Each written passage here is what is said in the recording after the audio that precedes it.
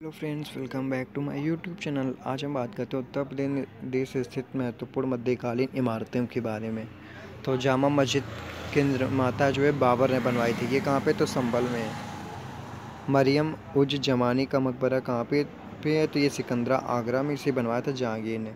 अकबर का मकबरा भी है सिकंदरा पे, आगरा पे। इसको बनवाया था जहांगीर ने। एतमादुद्दौला का मकबरा है आगरा में। इसको बनवाया था नूर जहाँ बेगम ने। दीवान आम और दीवान ख़ास, ये ये भी आगरा, दिल्ली में। इसको बनवाया था शाहजहाँ ने। जहांगीरी महल। इस, ये आगरा में अवस्थित है, इसे बनाया था अकबर ने। आगरा का किला किसने बनवाया था? अकबर ने। यह आगरा में, ताजमहल। यह आगरा में अवस्थित है और इसे बनवाया था शाहजहाँ ने। जामा मस्जिद कहाँ पे तो ये भी आगरा में है। आगरा और दिल्ली दो जगह पे है। और इसको शाहजहाँ ने बनवाया था। लाल लाल दरवाज़ा मस्जिद कहाँ पे है? तो ये जौनपुर में, इसे मोहम्मद शाह ने बनवाया था। जामा मस्जिद कहाँ पे है? तो ये जौनपुर में हुसैन साद सरकी ने बनवाया था।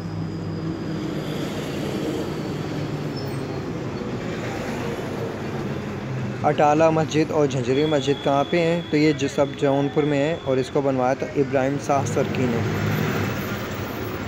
जामा मस्जिद शेख सलीम चिश्ती का मकबरा, इस्लाम खान का मकबरा, बुलंद दरवाज़ा खास महल बीरबल महल और जोधाबाई महल ये सभी अकबर ने बनवाए थे और ये सभी जितने भी हैं, जितने भी सात महल हैं, ये सभी फ़तेहपुर सीकरी में हैं।